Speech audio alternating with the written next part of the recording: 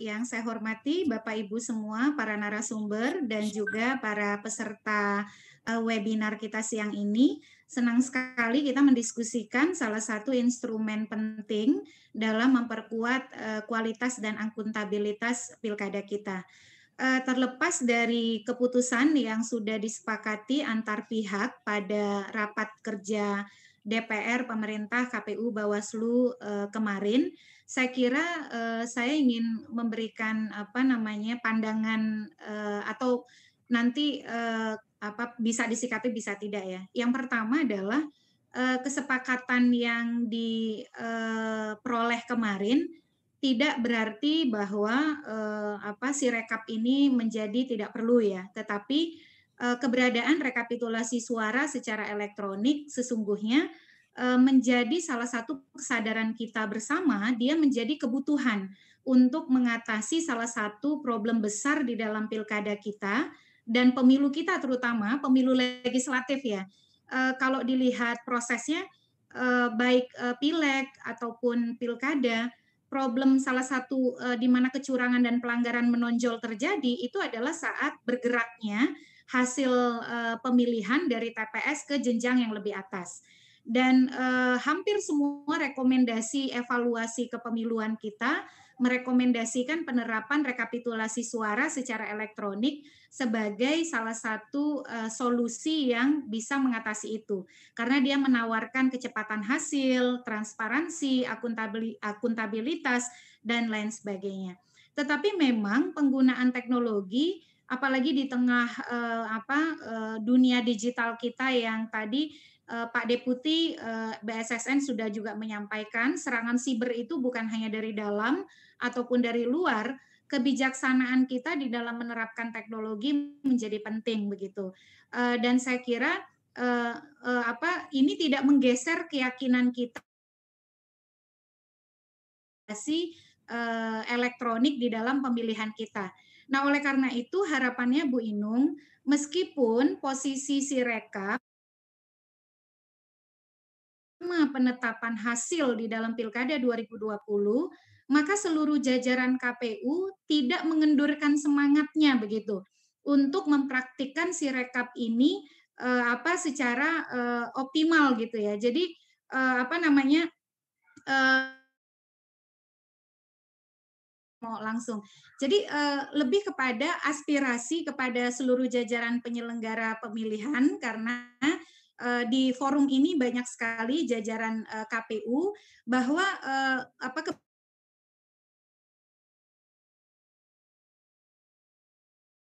di lapangan tidak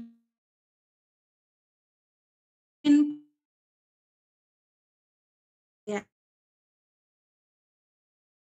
Dan para pihak ini kan menjadi sesuatu agenda yang diharapkan bisa kita berlakukan pada jika misalnya hasilan misal sebut ya harapannya di atas 95 persen, ini bisa membangun kepercayaan masyarakat, kepercayaan publik pada teknologi itu sendiri gitu.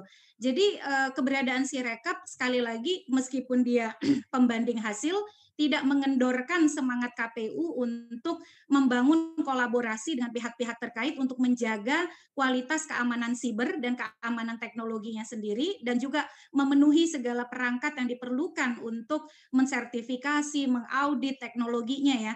Yang kedua, tidak kemudian melemahkan komitmen eh, para jajaran di eh, lapangan terutama untuk eh, memastikan akurasi dan kualitas serta serta prestasi di dalam memenuhi capaian target si rekap gitu. Jadi karena kepentingan kita terhadap si rekap ini adalah untuk membangun kepercayaan publik dan meneguhkan penggunaan teknologi uh, sebagai uh, salah satu sarana mengatasi persoalan di 2024 Uh, maka komitmen itu yang diperlukan. Nah, saya uh, bertanya kepada Bu Evi, Nah, Bu Evi, bagaimana roadmap yang dijalankan oleh KPU untuk menjembatani uh, situasi ini?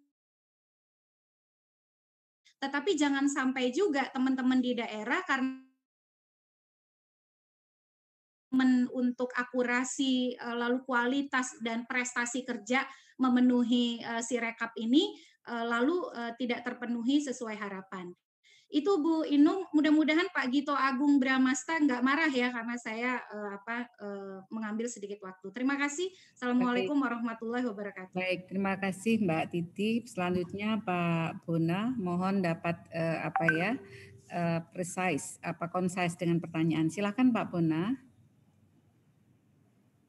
Baik, terima kasih Bu Nur Saripah sebagai moderator ya.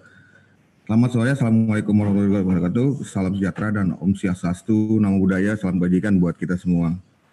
Partai Hanura default adalah eh, mengapresiasi pada KPU atas inovasi yang dilakukan. Namun untuk beberapa hal saya lebih condong masalah ke beberapa dua dua dua uh, dua hal dengan empat pertanyaan. Yang pertama yaitu terkait payung hukum jika terjadi perbedaan di tingkat kecamatan antara hasil e-rekap TPS dan kelurahan, mekanisme yang dijalankan bagaimana? Apakah sistem ini itu ada pembandingnya? Karena hasilnya pasti akan sudah langsung ke server utama, kemudian di tingkat kecamatan sudah bisa melihat berapa scoring sementara di tingkat itu. Nah, kemudian apakah nanti kalau ada perbedaan bagaimana eh, mekanisme yang dilakukan oleh KPU. Yang kedua, khusus untuk BSSN, saya hanya ingin pertanyaannya, apakah pernah BSSN melakukan uji terhadap KPU untuk masalah attacking man in, man in the middle attacking? Ini yang paling banyak dilakukan. Kalau tadi paparannya hanya sekedar itu standarnya IT dalam konteks yang global, tetapi bagaimana dengan BSSN terhadap KPU melakukan audit khususnya untuk man middle attacking ini? Misalnya contohnya sekarang ini lagi banyak orang menggunakan handphone tiba-tiba tidak bisa tetapi di cloning handphonenya kemudian mengirimkan data yang sebetulnya itu bukan dari dia. Itu itu terjadi beberapa titik di uh, beberapa kali terutama di kota-kota besar. Yang ketiga, di mana peran BSSN dalam membuat aplikasi ini? Apakah BSSN membuat yang namanya eh, metode enkripsi tersendiri untuk KPU atau KPU membuat aplikasi ini hanya menggunakan standarisasi enkripsi yang biasa digunakan oleh pembuat software. Kalau itu maka tidak perlu ada peran BSSN di sini. Yang keempat, bagi KPU, apakah KPU memberikan API atau integrasi data kepada partai politik yang akan mendukung pasangan calonnya dan dalam hal ini kami mendukung pasangan calonnya untuk melakukan misalnya katakan percepatan data atau perhitungan secara internal di partai politik itu sendiri. Demikian mungkin saya eh, atas nama Partai Hanura mengajukan pertanyaan dan mungkin teman-teman kita kalau bisa kita mengarahkannya kepada pertanyaan yang bersifat menyempurnakan sistem. Tidak ada lagi mohon debat-debat yang bersifat terlalu politis apakah digunakan atau tidak, bisa kita kurangi lebih sedikit. Demikian terima kasih dan selamat sore. Assalamualaikum warahmatullahi wabarakatuh. Waalaikumsalam. Terima kasih Pak Bona. Selanjutnya Mbak Cindy, disilakan. Medcom. Ya, selamat siang semuanya. Aku mau tanya ke KPU dan ini ini uh, di luar dari soal sirekap. Jika apa ya lebih ke update persiapan pilkada kelengkapan dan validitas data pemilih itu termasuk yang mereka yang belum memiliki KTP elektronik itu uh, sudah sejauh mana dan terkait juga jaminan kesehatan para petugas dan pemilihnya itu uh, protokolnya apakah sudah benar-benar kukuh atau belum dan termasuk logistik pilkadanya apakah sudah di uh, disiapkan dan mulai didistribusikannya kapan?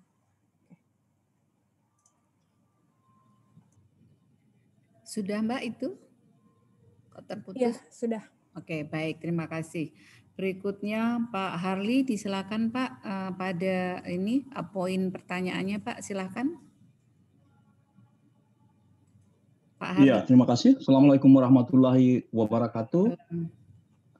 Om Swastiastu, Namo Buddhaya. Uh, yang terhormat, uh, ya saya kira komisi komisioner KPU saya kira di sini ada komisioner KPU RI, KPU seluruh daerah, saya kira provinsi dan kabupaten. Yang kemudian saya lihat juga ada PPK dan kedua lembaga negara uh, yang hadir di sini BSN. Saya lihat juga ada Bawaslu, ada uh, uh, ahli, ada Pak Hadar, ahli di bidang pemilu. Saya tidak sempat menyebutkan satu persatu. Uh, terima kasih atas kesempatan yang diberikan kepada saya uh, mewakili PDI Perjuangan dari Badan Saksi Pemilu Nasional.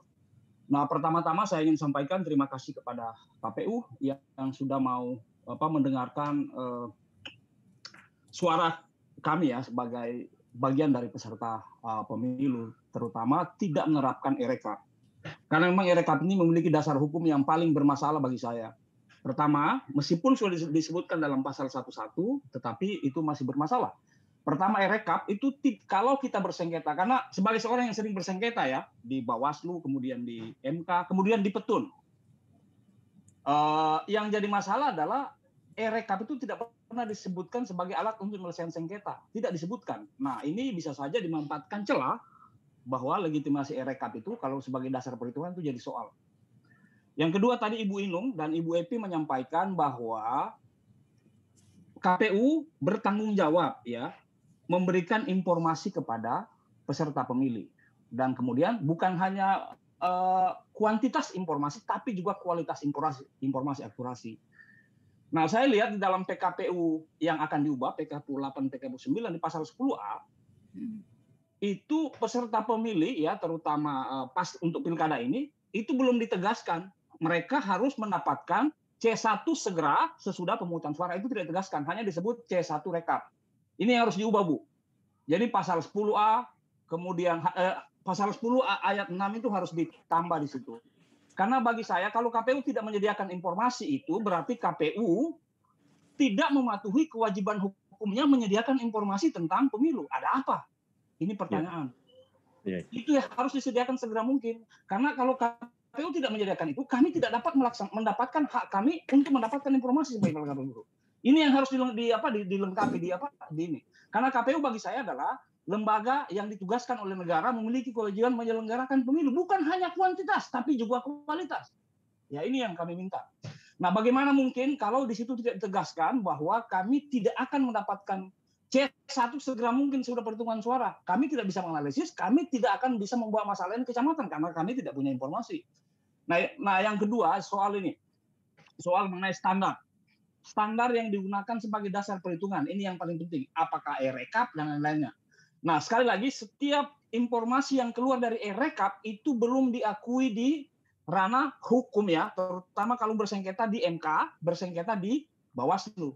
Karena ibu sekedar tahu saja selama ini ya, yang paling banyak sebenarnya kalau BSN tadi bilang ada ini ada itu, yang paling banyak sebenarnya melakukan kecurangan itu adalah penyelenggara pemilu di tingkat uh, eh, KPPS, KPPS, kemudian PPK. Ibu harus tahu semua yang disanding-disanding selama ini itu adalah C1 dengan DA1. DA1 siapa yang ini? Sekretaris PPK yang sering memasukkan itu ke dalam dan itu diubah-ubah. Jadi yang paling banyak kesalahan 70% itu karena orang. Karena penguasaan lemah. Apalagi ini mau menerapkan erekap, wah saya jadi ragu orang-orang yang ini. KPPS belum dilatih. Waduh, ini juga saya jadi ragu hasil.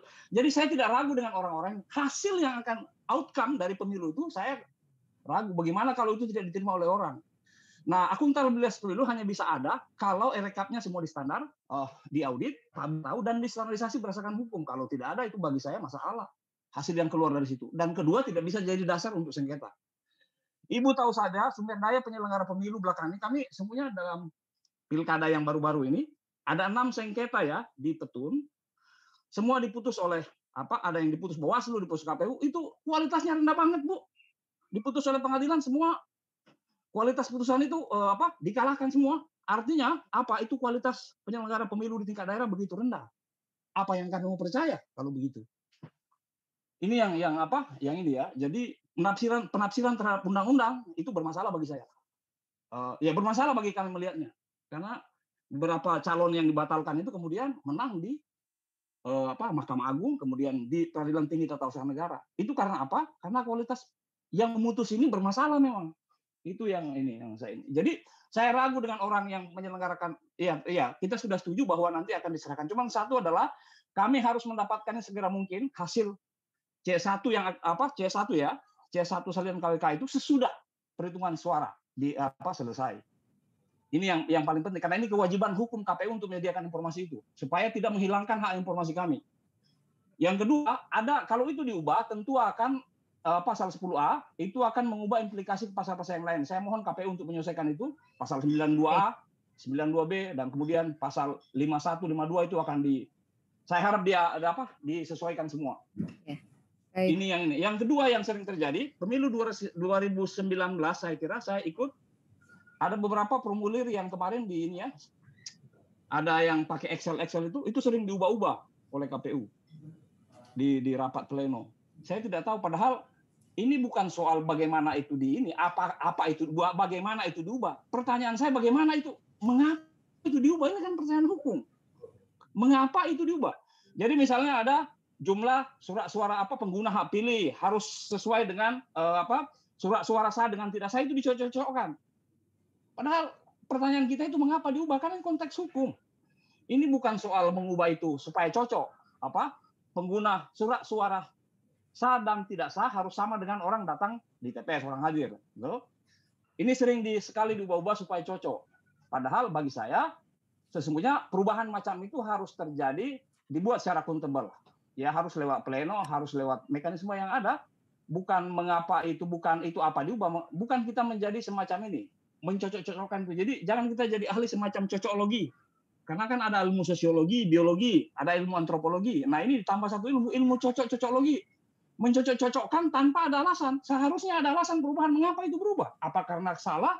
Kalau itu salah, bagaimana terjadi itu kesalahan? Apa yang salah? Itu harus dibuka kembali. Nah ini yang sering, nah ini ini menyebabkan hasil dari uh, pemilu itu, hasil dari pemilu itu kami sesungguhnya tidak percaya dengan begitu yang mudah sekali diubah-ubah. Meskipun nanti tidak, nah saya lihat tadi ada presentasi menyatakan bahwa yang tidak bisa diubah ada hasil, tapi yang lain itu masih bisa diubah-ubah. Nah perubahan ini harus merujuk kepada alasan yang jelas, harus punya dasar hukum yang jelas. Kalau tidak, ini jadi pertanyaan. Karena keseringan KPU itu mengubah, mengubah-ubah uh, apa data pemilu itu di ini Nah, itu berapa kali saya temukan ketika pleno di KPU RI tahun lalu dan itu diubah-ubah tanpa ada alasan perubahan.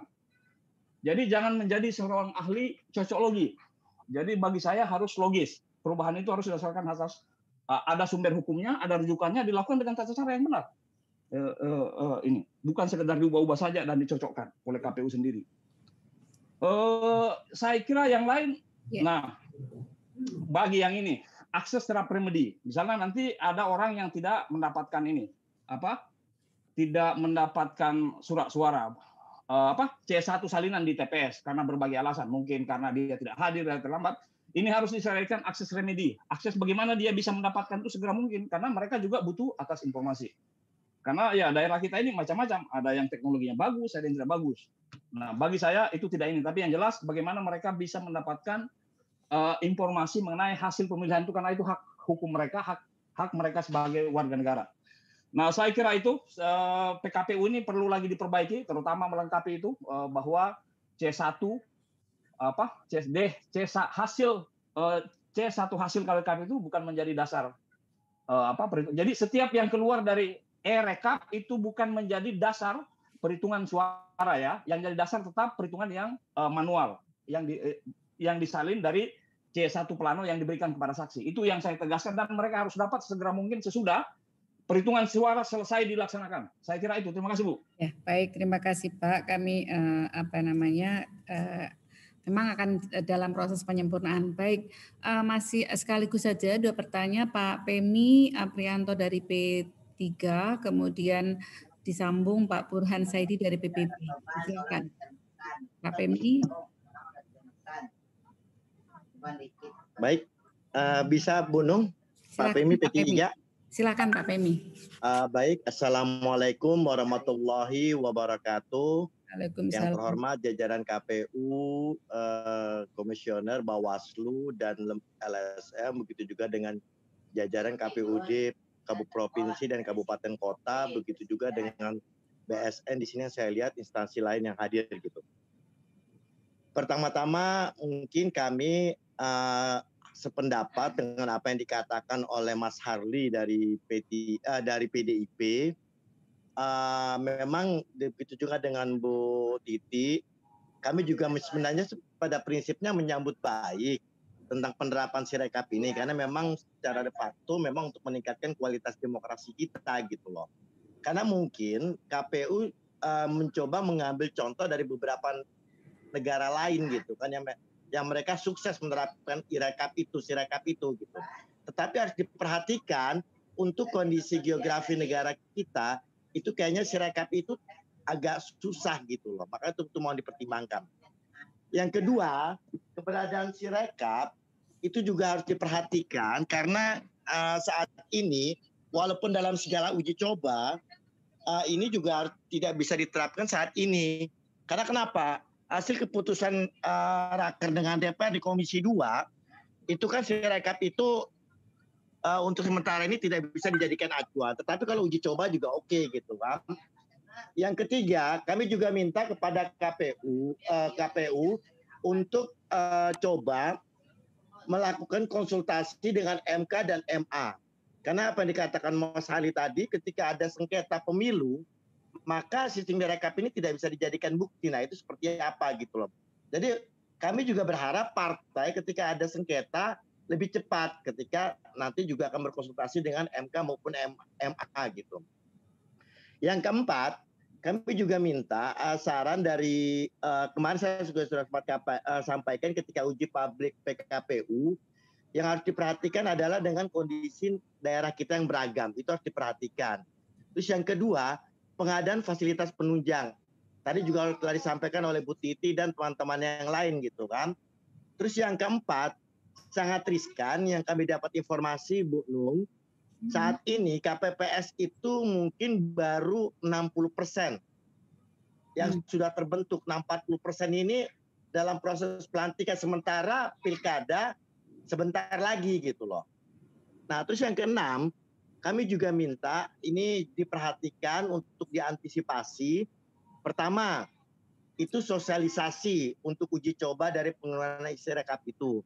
Hmm. Yang kedua, yang mungkin tadi disampaikan oleh BSN juga uh, kami sepakat masalah hacker. Nah ini juga diantisipasi dan yang terakhir itu adalah kevalitan data. Apakah data nanti si rekap itu bisa dijadikan uh, patokan awal gitu, tidak acuan ya, patokan awal bagi partai. Hmm. Sementara kewajiban KPU memberikan data bagi partai untuk bisa mengantisipasi segala-segala kemungkinan yang terburuk dari proses masa penghitungan sampai penetapan di KPU di KPUD gitu khususnya. Itu saja Bu dari kami P3. Terima kasih. Wassalamualaikum warahmatullahi wabarakatuh. Waalaikumsalam. Terima kasih Pak. Silakan Pak Burhan dari PPP. Kalian nyambung. Oke, baik Bu. Terima kasih. Assalamualaikum warahmatullahi wabarakatuh. Saya mengucapkan uh, terima kasih atas waktunya. Saya langsung saja karena mengingat waktu. Salam hormat saya buat semuanya. Uh, kami dari Partai Bulan Bintang pada prinsipnya mengapresiasi langkah perbaikan yang dilakukan oleh penyelenggara KPU khususnya uh, untuk perbaikan uh, terkait uh, masalah rekapitulasi uh, penghitungan suara. Iya, nah, satu, kami kami langsung saja. Yang pertama, Berdasarkan informasi yang disampaikan tadi dari narasumber tadi, bahwasannya si rekap bisa diakses oleh siapa pun, itu yang pertama. Ya gitu. Yang kedua, dapat direvisi oleh siapa pun.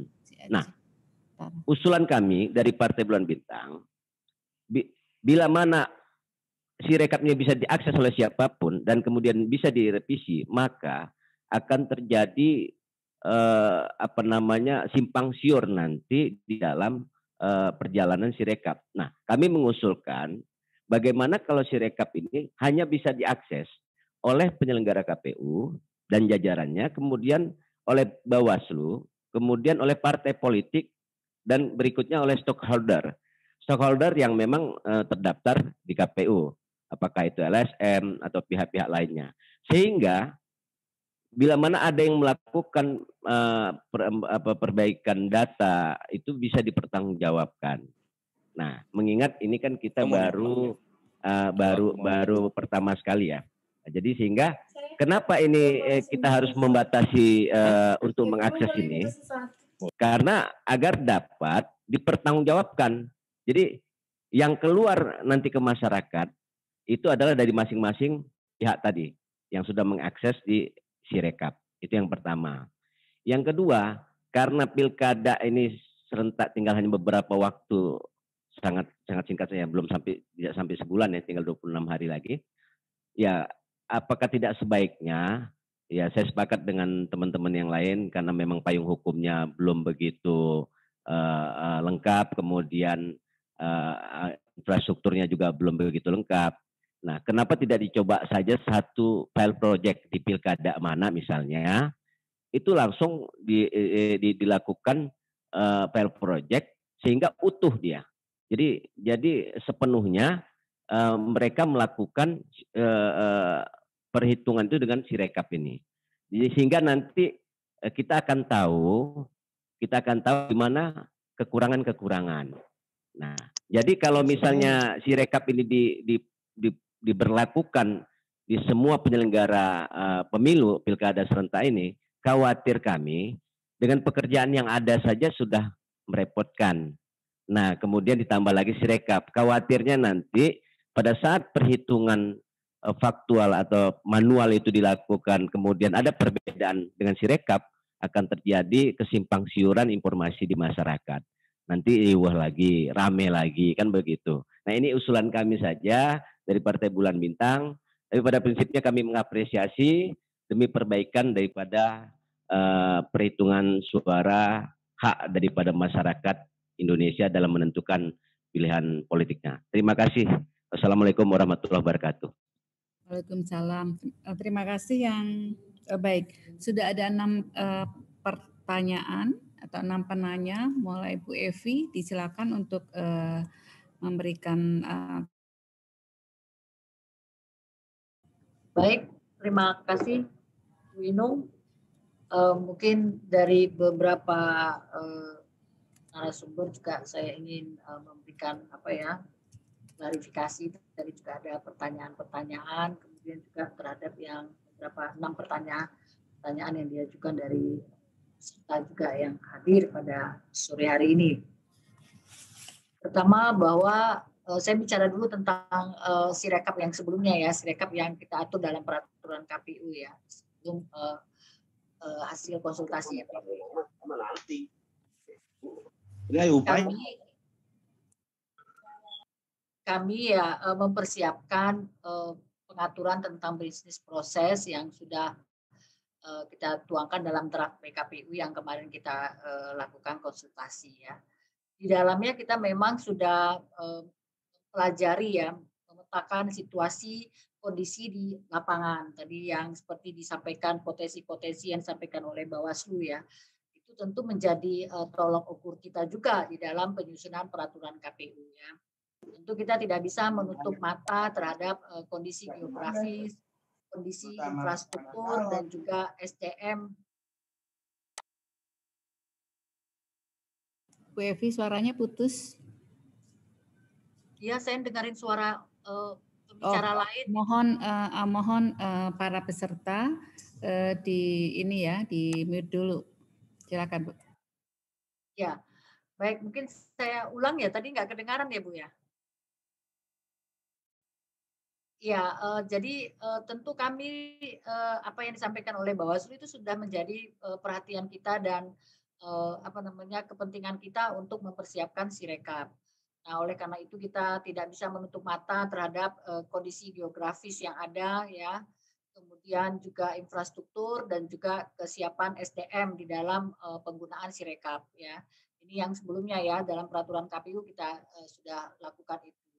Jadi kami sudah memetakan ya pertama meminta seluruh KPU kabupaten kota melalui provinsinya untuk uh, menetapkan menentukan titik koordinat TPS sehingga kami bisa memetakan uh, berapa banyak TPS yang uh, mempunyai uh, jaringan ataupun sinyal yang baik, lemah dan tidak ada sama sekali. Nah, itu yang kita dapatkan dari data kita, kita menemukan bahwa ada 5,6 persen ya sampai saat ini yang sudah kita uh, dapatkan dari daerah uh, yang memiliki uh, ketidaktersediaan jaringan internet. Nah, oleh karena itu pada waktu kita eh, melihat kondisi seperti ini, uh, tentu kami mempersiapkan langkah-langkah ya uh, mitigasinya ya seperti apa yang harus kita siapkan di dalam peraturan KPU sehingga nanti di dalam bisnis prosesnya ini tidak terjadi kendala yang akan dihadapi oleh KPPS. Adapun misalnya mereka menghadapi kendala itu bisa langsung diberikan solusinya ya cara ataupun mekanisme untuk menyelesaikan persoalan-persoalan yang dihadapi oleh KPPS ya di dalam uh, proses uh, sirekapnya yang akan dilakukan. Ya, jadi memang pertama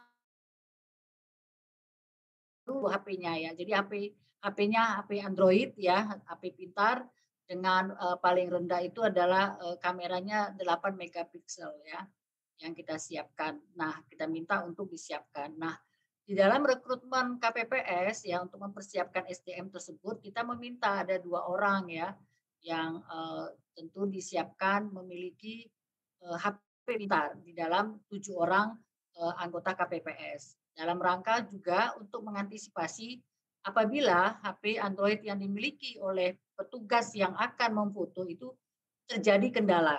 Nah, oleh karena itu kami sudah mempersiapkan di dalam peraturan KPU pada waktu itu bahwa seluruh perlengkapan kesiapan termasuk kesiapan di dalam uh, penggunaan HP-nya dan juga aplikasi itu sudah harus selesai dilakukan eh, H-1 sebelum hari pemungutan suara. Jadi di dalam eh, bimbingan teknis kita kita sudah sampaikan bagaimana langkah-langkah eh, KPU Kabupaten Kota melalui jajaran di bawahnya untuk memastikan H-1 seluruh KPPS itu siap untuk penggunaan dan kita sudah lakukan uh, BIMTEK untuk terkait dengan hal itu. Nah, kemudian bagaimana KPU untuk mengatasi persoalan jaringan tersebut ya. Maka kemudian jaringan yang lemah dan juga tidak ada eh, di dalam aplikasi yang bisa digunakan secara dengan tanpa jaringan internet. Jadi uh, bisa online, bisa offline. Kan. Apa yang tadi menjadi masalah kita juga sudah siapkan di dalam penggunaan sirekap ini. Jadi nanti sirekap ya ketika setelah selesai di foto ya kemudian dilakukan edit terhadap uh, hasil foto ya hasil foto dengan pembacaan teknologi. Nah, pembacaan teknologi ini masih di dalam uh, TPS ya masih ada saksi dan panwas itu dilakukan eh, pemeriksaan bersama-sama dilihat. Nah, ketika sudah sudah benar dilakukan koreksi melalui sirekap terhadap hasil eh, data pemilih dan pengguna pilih dan juga penggunaan surat suara itu dilakukan koreksi langsung di tempat. Jadi bukan seperti yang eh, dibayangkan tadi Pak Harli bahwa Eh, koreksi-koreksi saja. Nah, justru koreksi-koreksi yang dulu itu dilakukan, ini kita harapkan dengan Sirekap sudah diselesaikan di TPS. Karena TPS lah yang paling tahu berapa pemilih data pemilihnya, kemudian juga pemilih DPTB, pemilih DPPH, dan juga pengguna hak pilih yang dari DPT, dari DPPH, dan juga dari DPTB. Serta juga berapa banyak surat suara yang dia terima, dan juga penggunaan surat suara, termasuk yang keliru coblos. Jadi ini yang tadi Pak Harli eh, eh, apa persoalkan terkait dengan cocok-cocoki, ya mencocok-cocokkan. Ya, KPU nggak punya ilmu cocok-cocok, tetapi eh, apa yang terjadi karena sering sekali tidak sinkron, itulah yang kemudian kita lakukan koreksi berdasarkan data-data yang dari bawah juga kita lakukan koreksinya. Nah, bila menggunakan Sirekap, Hal inilah yang bisa diminimalisir terjadi kesalahan. Kita lakukan edit di tempat, di TPS, masih di TPS. Dengan berdasarkan melihat kepada C planonya yang digunakan untuk penghitungan suara. Jadi ketika menghitung suara, surat suara dikeluarkan, kemudian dicatat di dalam C plano tersebut. Nah, itulah kemudian kita cocokkan, kita periksa bersama-sama dengan saksi dan panwas. Dan di dalam Sirekap sudah ada koreksi untuk data eh, administrasi tersebut. Itu yang tadi saya maksudkan gitu ya. Nah, kemudian setelah dilakukan periksa, disubmit ya, sudah sudah dilihat semua benar, kemudian baru dikirim melalui QR code ataupun URL kalau yang ada jaringan. Nah, bagaimana yang tidak ada jaringan di TPS-nya? Maka dikirim melalui Bluetooth gitu ya. Nah, tapi itu kan kemudian dikirim melalui Bluetooth sudah dalam bisa di PDF-kan ya. Sehingga tadi yang dikhawatirkan bahwa eh, saksi peserta pemilu ya itu kan ada kewajiban KPU untuk memberikan salinannya. Maka salinan itulah yang kita rubah dari salinan bentuk dokumen kita merubahnya menjadi salinan dalam bentuk digital. Ya, jadi ada jaringan, tidak ada jaringan bisa diselesaikan ataupun kewajiban KPU di dalam undang-undang itu dipenuhi dengan memberikan salinan digital. Ya, itu yang kita siapkan melalui Sirekap pada hari pemungutan dan penghitungan suara tersebut. Jadi sudah selesai semua, sudah di, dilihat, dicocokkan, baru kemudian dikirim kepada saksi dan panwas dalam bentuk salinan digital. Salinan digital yang kita berikan itu bisa di print out oleh saksi dan panwas. Nah, itu yang kemarin kita siapkan di dalam peraturan KPU kita. Itu yang kita lakukan. Nah, kemudian setelah diterima, Ketika yang tidak ada jaringan dengan Bluetooth sudah menerima, kita minta membuat tanda terima bahwa dia sudah menerima. Kemudian untuk pengiriman kepentingan kepada publikasi dan kesiapan penggunaannya di dalam rekapitulasi di PPK dan KPU Kabupaten Kota, maka kemudian eh, KPPS ya itu bergeser ke tempat yang lokasi yang ada jaringan internetnya. Di dalam peraturan KPU kita, kita meminta PPK dan PPS yang mengkoordinasikan, memobilisasi, ya, mengkonsolidasikan untuk menggerakkan si KPPS ya kepada titik yang ada jaringan. Apakah itu di, di tingkat e, desa di PPS atau lokasi yang terdekat, kemudian atau juga di tingkat PPK bisa dilakukan oleh PPK. Nah ini yang e, pengkondisian terhadap beberapa potensi yang diduga masalah tadi yang disampaikan oleh Bawaslu. Kita siapkan di dalam peraturan KPU kita yang kemarin tersebut sehingga ini kemudian eh, kita atur mencapai sampai waktu 24 jam karena kita memperhatikan seperti misalnya Maluku Utara daerah yang kepulauan yang harus melewati laut ya dan dan beberapa daerah di eh, Papua di timur ya yang lainnya kita mendapatkan semua itu tentu telah mendengarkan ataupun mendapatkan masukan dari KPU provinsi maupun KPU eh, kabupaten kota. Kita siapkan seperti itu, kemudian eh, dilakukan rekapitulasi di tingkat eh, PPK. Jadi hard copy yang ada, dokumen eh, manual yang ada di tingkat PTPS itu adalah C plano yang digunakan untuk penghitungan suara.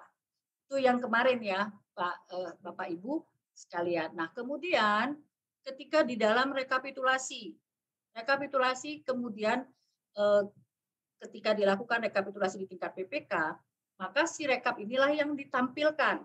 Nah, kalau dulu ya pada waktu pemilu maupun pilkada yang lalu, kita menggunakan C1. Ya, C1 hologram, kemudian eh, dituangkan ke dalam DA1. Jadi C1-nya dibacakan satu persatu, kemudian dituangkan ke dalam DAA1. Itu formulir untuk rekapitulasi di tingkat PPK yang eh, digunakan untuk per kelurahan ataupun desa. Jadi dituangkan. Itu tadi yang disebutkan terjadi eh, bisa terjadi per, eh, apa namanya perubahan-perubahan ya, bisa disengaja maupun tidak disengaja ya. Eh, tetapi tidaklah semua penyelenggara kita seperti yang Eh, sangkakan seperti itu ya masih banyak penyelenggara kita yang eh, juga eh, jujur ya di dalam melakukan rekapitulasi. Nah kemudian inilah yang perpindahan dari C1 ke dalam DAA1 ini yang kemudian digantikan oleh Sirekap. Nah, Sirekap itu kemudian bisa menampilkan langsung C hasil, C plano yang sudah di foto itu langsung terekam dan terbaca serta terkonversi di dalam angka-angka oleh si rekap. Nah, digunakan di dalam rapat pleno rekapitulasi di tingkat PPK. Langsung ditampilkan, sudah langsung lengkap dengan semua TPS yang ada di kecamatan tersebut. Jadi dia sudah langsung dalam bentuk kecamatan untuk semua TPS. Jadi ringkas inilah yang digantikan oleh si eh, tahapan inilah yang digantikan oleh si rekap. Nah, itulah yang eh, kemudian akan memperingkas proses rekapitulasi di tingkat PPK. Nah, eh, Bapak Ibu sekalian, eh, saksi maupun panwas tentu bisa menerima manfaat daripada si rekap ini di dalam rapat pleno rekapitulasi. Ya, kalau dulu teman-teman eh, ketika melakukan PPK melakukan rekapitulasi itu dia membaca C1 kemudian dituangkan ke DA1 baru kemudian dia lagi rekap dipindahkan ke dalam DA1. Cukup lama waktunya bisa terjadi kesalahan baik yang disengaja maupun yang tidak disengaja. Nah, inilah yang kita eh, ringkaskan dengan penggunaan Sirekap. Sirekap yang sebagai instrumen kita untuk melakukan rekapitulasi. Rekapitulasi setelah selesai di, ditampilkan semua per TPS, dilihat oleh semua saksi dan panwas, dan dicek kesesuaiannya dengan Eh, data digital yang dimiliki oleh eh, saksi dan panwas ataupun saksi dan panwas sudah memprint out dari eh, pengiriman C hasil plano tadi yang difoto dan juga dikonversi itu sudah bisa di print out menjadi barang bukti bagi saksi dan panwas untuk mengikuti rapat pleno rekapitulasi. Nah, setelah ada kesesuaian, sudah disetujui bersama, datanya sama dan persis, kemudian rapat eh, pleno rekapitulasi di PPK bisa menetapkan hasil rekapitulasinya. Setelah ditetapkan, baru kemudian di print out. Setelah di print out, kemudian ditandatangani oleh seluruh PPK dan juga eh, saksi yang hadir yang bersedia untuk menandatangani. Nah, setelah itu baru dipindai. Dipindai di tingkat PPK, baru kemudian diunggah ya melalui Sirekap untuk dikirim ke uh, servernya kita. Baru berproses Sirekap ini akan digunakan di tingkat KPU kabupaten kota. Itu yang kita siapkan. Jadi semua prosesnya yang berkaitan untuk uh, kebutuhan pengumuman untuk ditempelkan bisa di print out uh, oleh uh, kita yang uh, bisa digunakan dengan cara melakukan print out. Jadi bisa di print out, baru kemudian eh, itu ditempel di papan pengumuman dan seterusnya di tingkat kabupaten kota dan provinsi seperti mekanismenya yang kita siapkan di dalam sirekap ini. Jadi sebenarnya pada hari H, hari pemungutan dan penghitungan suara, baik ada jaringan maupun tidak ada jaringan, saksi dan panwas bisa mendapatkan dokumen ataupun kalau kita bilang salinan digital yang kita kirimkan uh, pada hari uh, pemungutan penghitungan suara melalui Sirekap. Nah, sekarang saya ingin menyampaikan bagaimana kondisinya sekarang ketika setelah uh, konsultasi, ya, karena ini menjadi alat bantu, ya. Tentu yang tadinya instrumen ya, instrumen kita untuk melakukan rekapitulasi, kalau dulu kita gunakan dengan Excel, maka kita mengisi ya. Kalau ini kan sudah tersedia gitu ya. Nah, tapi mekanisme di dalam rapat pleno itu masih terbuka. Kalau ada yang tidak sesuai, kalau ada keberatan, bisa dibuka dan kemudian diselesaikan. Apa yang menjadi rujukannya? Ya, rujukan dari penyelesaian keberatan yang tadi juga disampaikan oleh uh, Bawaslu, gitu ya, Eh, dan juga beberapa penanya tadi bagaimana uh, mekanismenya dan apakah ini bisa dibawakan ke dalam sengketa. Nah, mekanisme keberatan maupun ada ketidaksesuaian itu bisa langsung diselesaikan di tingkat PPK. Jadi kita sudah menyampaikan di dalam BIMTEK bahwa semua persoalan harus diselesaikan di tempat. di, uh, di setiap rapat pleno rekapitulasi, terutama di tingkat PPK.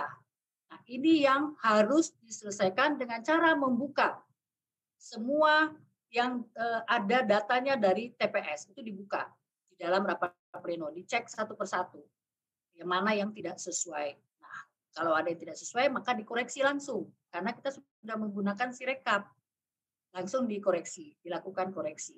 Keberatan juga seperti itu. Nah, kalau misalnya masih ada persoalan tidak langsung selesai, maka bisa dirujuk kepada hasil foto yang dilakukan melalui sirekap. Foto terhadap data-data ataupun C plano yang sudah dilakukan di tingkat TPS.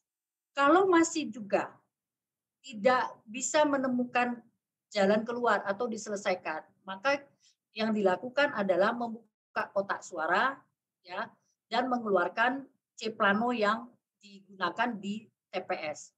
Dokumen hard copy-nya yang plano. Itu yang akan dilakukan sampai ke dalam mekanisme menghitung surat suara. Kalau misalnya persoalan itu juga tidak bisa meyakinkan, ya. Nah, ini juga terjadi di dalam pemilu-pemilu sebelumnya. Mekanisme ini masih sama, gitu loh. Kita hanya merujuk pertama sekali kepada foto karena si rekap sudah disiapkan untuk kepentingan juga terhadap penyelesaian keberatan tersebut. Nah, itu yang uh, kita lakukan. Sekarang kalau sudah semuanya kembali, uh, kita lihat kepada hasil konsultasi. Maka eh, KPU ya tetap akan menggunakan sirekap di semua TPS. Jadi semua TPS tetap menggunakan sirekap sebagai alat bantu kerja KPU. Jadi apa yang tadi disampaikan oleh eh, Pak Hadar, Kak Titi, ya bahwa ini menjadi satu uji coba.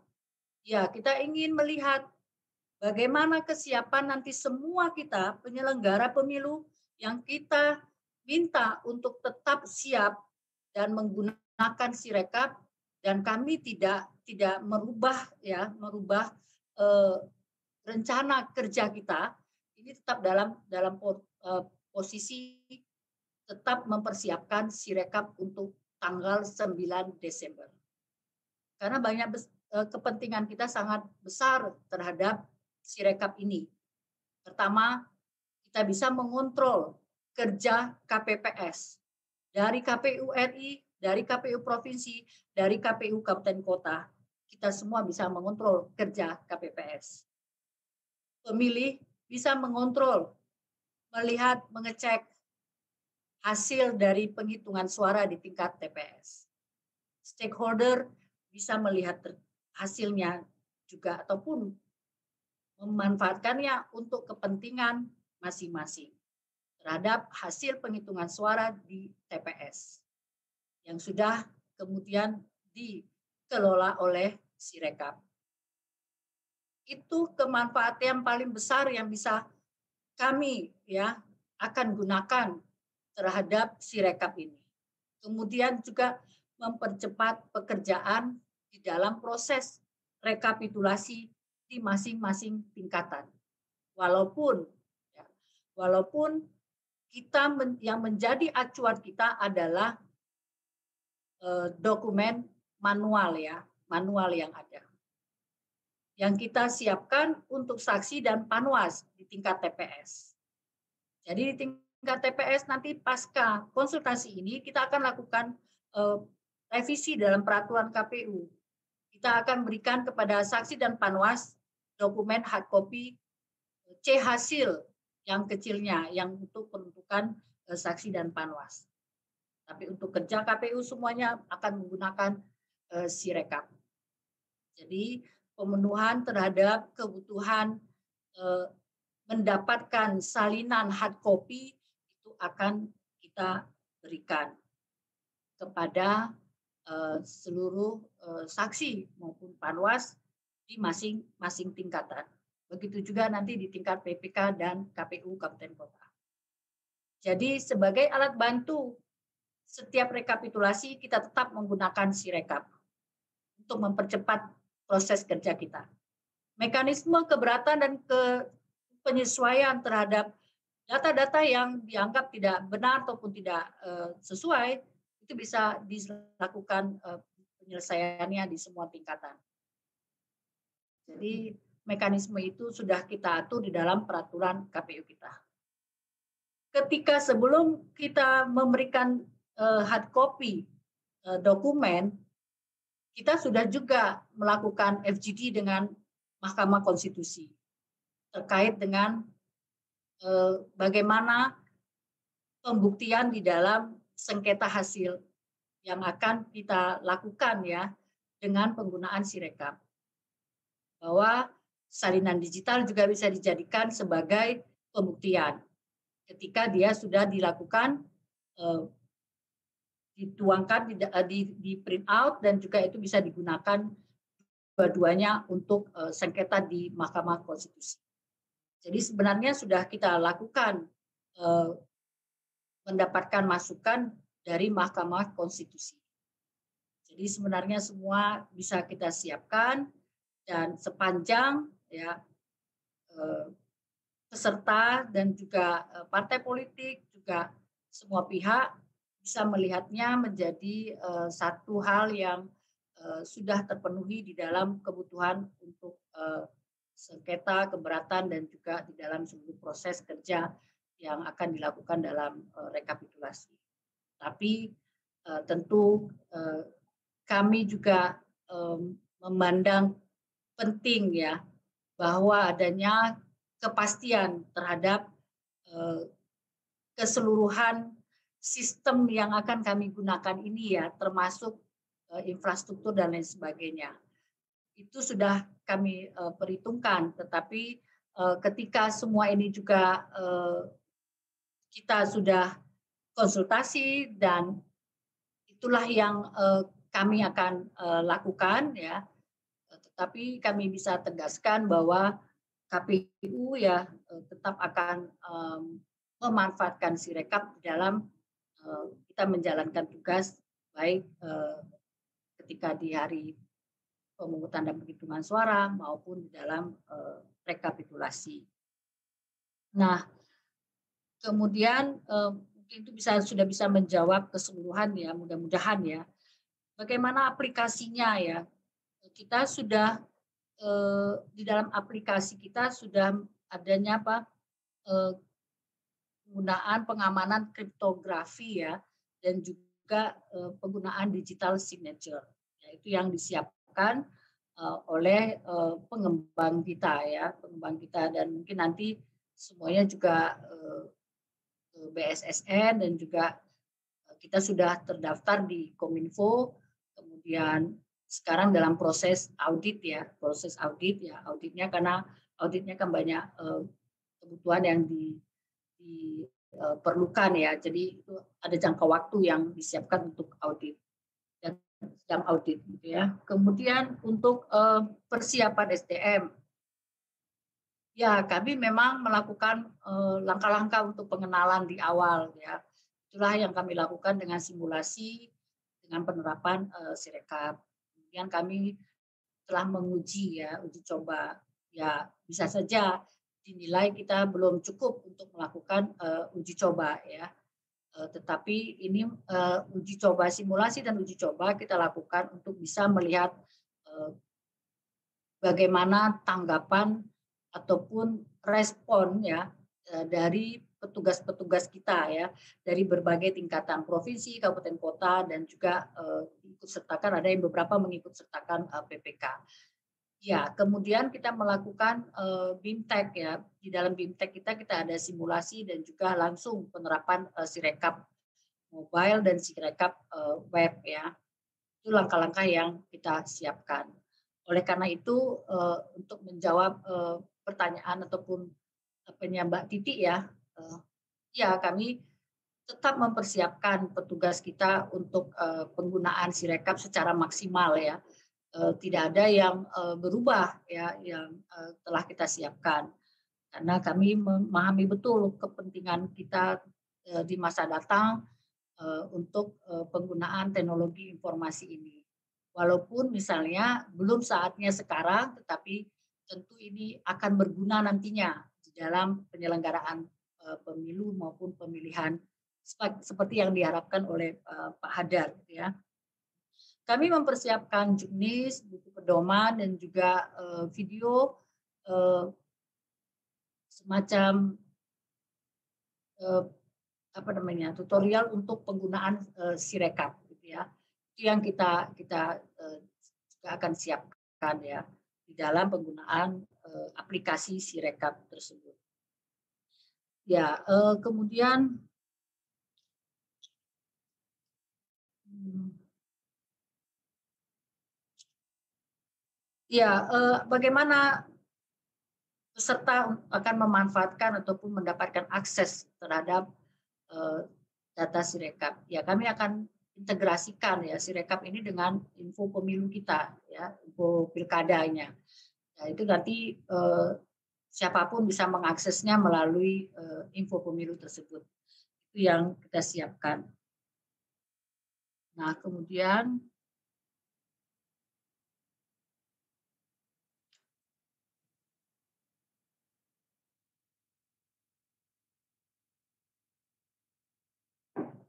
Ya, audit sudah, kemudian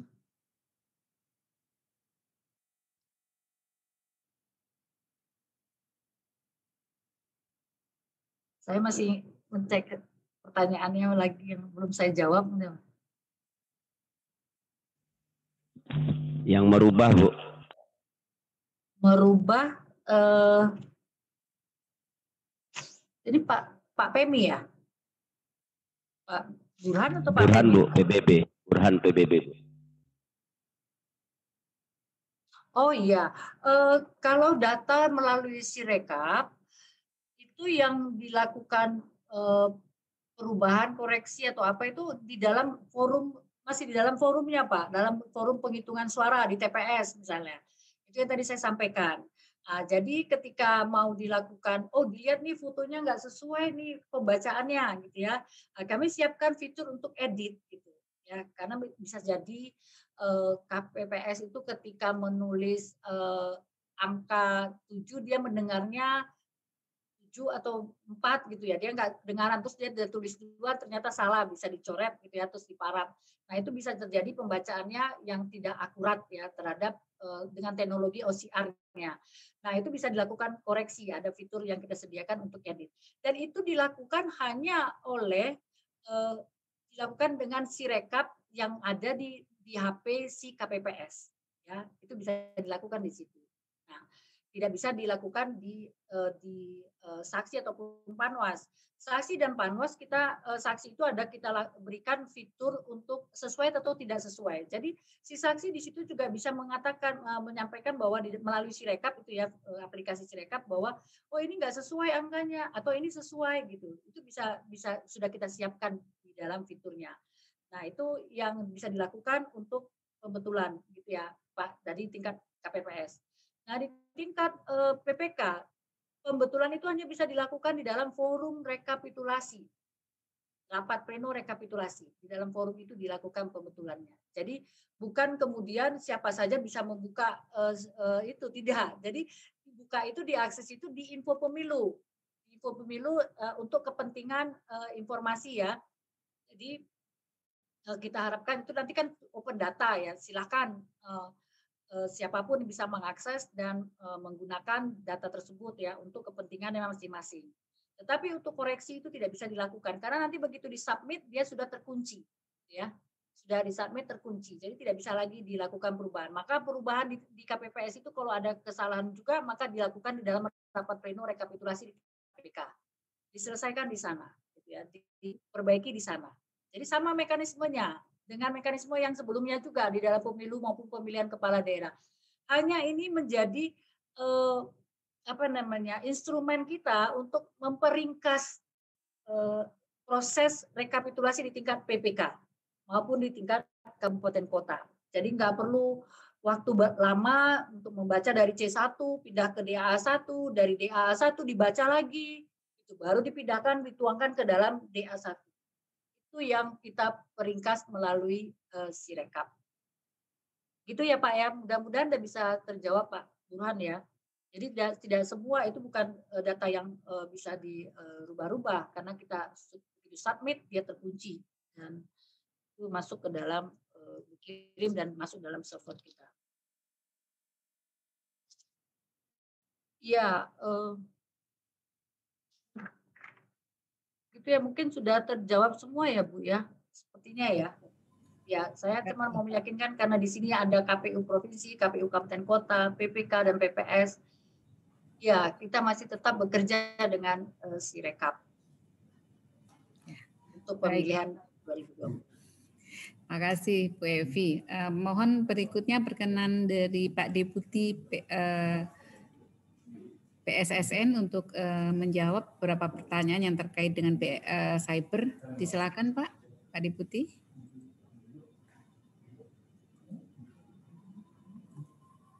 Pertanyaan yang disampaikan tadi yang bisa tercatat hanya satu yang dari Pak Pun. Masalah apa namanya tadi yang masalah kripto itu sudah dijelaskan oleh anggota KPU ya, Evi. Kemudian satu lagi masalah man in the middle stack. Jadi sesuai dengan tugas fungsinya BSSN itu melakukan uh, kegiatan-kegiatan adalah identifikasi, ya deteksi, kemudian proteksi, kemudian tanggap insiden, dan itu kegiatan-kegiatan itu kita petakan kegiatan atau kejadian, kegiatan dilakukan sebelum kejadian, berarti itu adalah kegiatan identifikasi deteksi.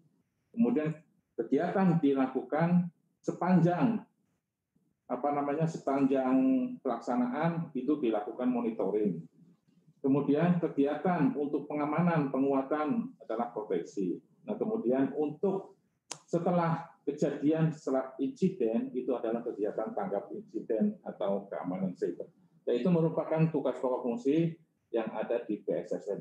Nah, terkait dengan masalah sebetulnya bukan hanya Sirekap saja yang perlu dilakukan pentest, tapi semua aplikasi yang akan digunakan, yang akan di untuk menjaga keamanan perlu dilakukan pentest dulu.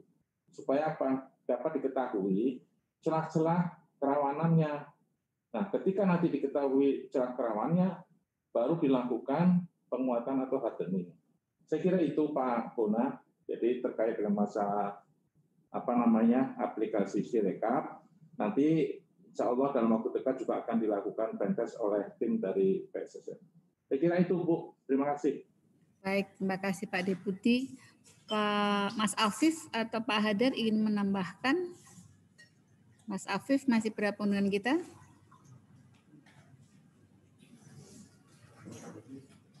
Pak Hadar. Um, oh, terus silakan Mas Abi. Oh. Ya, saya masih mengikuti. uh, saya kira uh, Bu Evi sudah sangat menjelaskan banyak hal. Saya setuju catatan dari teman-teman partai juga. Artinya apa? Ini kan langkah lanjutan dari upaya kita memper menyederhanakan mekanisme bagaimana publik mengetahui si apa hasil itu lebih cepat. Nah, secara teknis karena ini menjadi alat bantu dan memang akan tetap diterapkan mau tidak mau karena mekanisme manualnya masih dilakukan ini akan menjadi dalam tanda kutip pekerjaan tambahan. Nah tentu ini penting untuk kita pastikan di jajaran terutama jajaran uh, KPU dan juga pasti kaminya akan uh, mengimbangi dari sisi apa yang bisa kita lakukan untuk ini. Nah yang lebih dari itu saya kira memang pengembangan ke depan si rekap ini kita harus apa sesuaikan percepatan dengan pengaturan-pengaturan terutama di undang-undang yang akan datang dan seterusnya sehingga langkah kita untuk katakanlah menjadikan ini sebagai lompatan kita di masa yang akan datang benar-benar bisa kita realisasikan dengan baik tentu dengan dukungan semua pihak. Saya begini, urusan-urusan kayak sinyal apa itu nggak akan selesai kita urus oleh penyelenggara.